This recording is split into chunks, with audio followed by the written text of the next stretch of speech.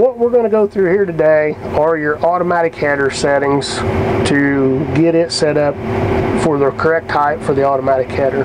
So we're going to start by going to letter I, which is a picture of the corn head, and we are working with corn head here today.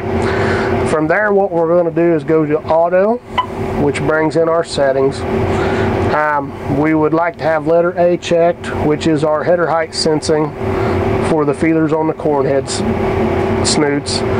B, which is going to be our feeder house position sensing, which is for going around the end, and J, which is for your contour master for turning it back on. The other option you have on a corn head is letter E here, which is your deck plate spacing.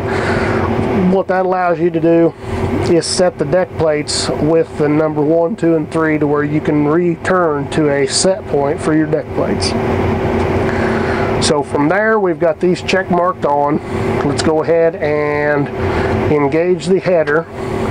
And what we will do is hit the number one button and we will scroll with the AHC knob up or down to wherever we want the head to go when we go around the end. And you see where there is a number up here. So we're going to set that at 30, which is reading off of the feeder house position sensor.